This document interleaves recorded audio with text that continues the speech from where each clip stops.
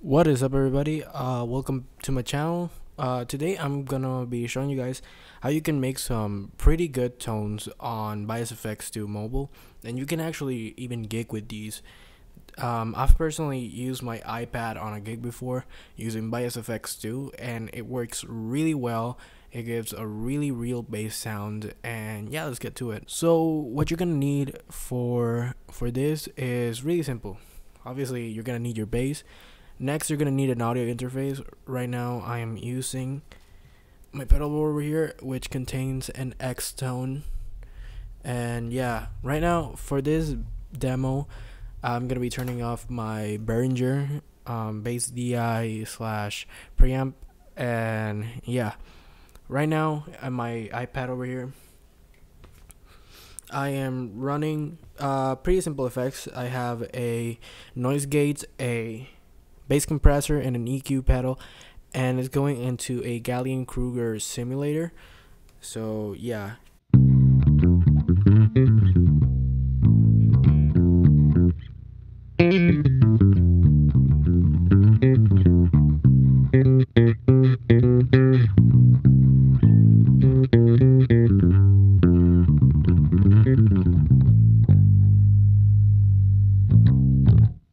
So yeah, as you can see, uh, that sounds pretty decent. And yeah, you can do a lot of things in the iPad. Right now, let me switch presets. Right here, I have like a synth type sound. Uh,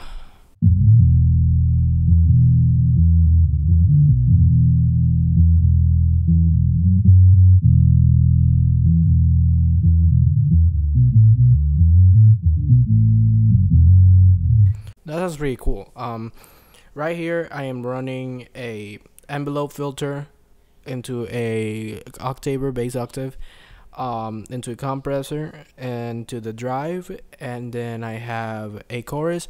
For live situations I also put a boost on it because this preset is not as loud as the others.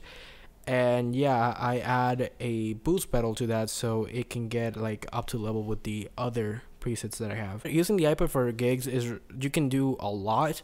Uh, right now, I don't. I only bought for bass. I only bought the basic pack you can buy it on Bias FX 2. I don't even have the professional version.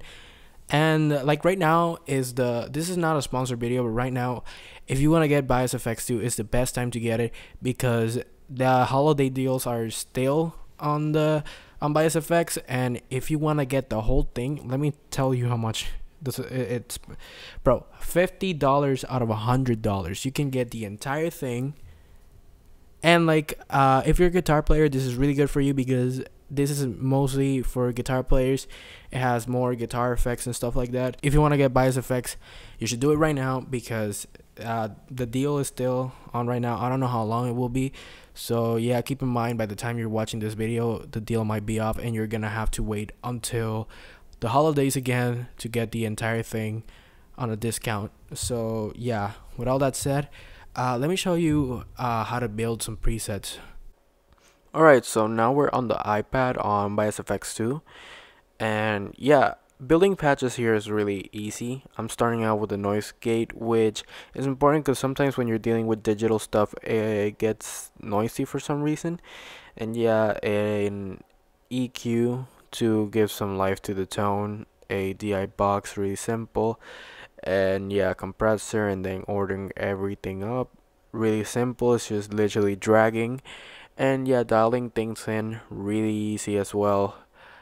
So I made this patch to use with an amplifier but making the patch to work into a PA system it's really easy. All you have to do is just put an amplifier right there there's an AC but that's for guitar. You just replace that for a bass amplifier I personally like the Gallien-Kruger but you can choose whatever the hell you want and dial it however the hell you want.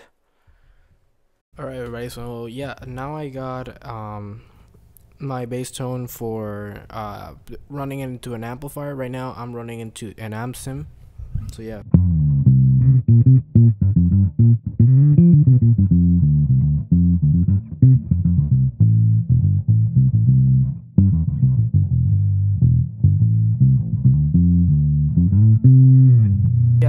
cool thing you can do with the Xtone here again, not sponsored. You can assign this to have different banks, and right now, um, you can turn on effects and turn off, or like run banks with different effects and settings and stuff. Uh, that's personally what I do. And yeah, right now here's uh, chorus.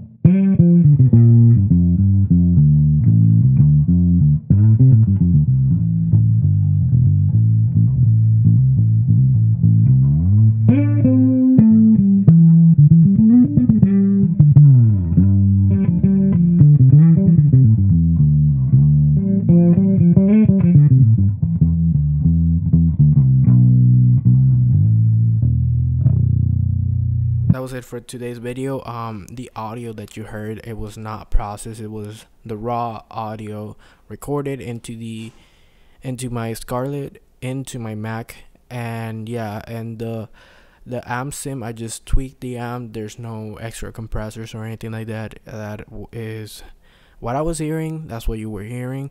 So yeah guys uh, thank you so much for watching. Um, stay tuned for the next video. If you're not subscribed already subscribe share with a friend and yeah i'll see you guys in the next video. Peace out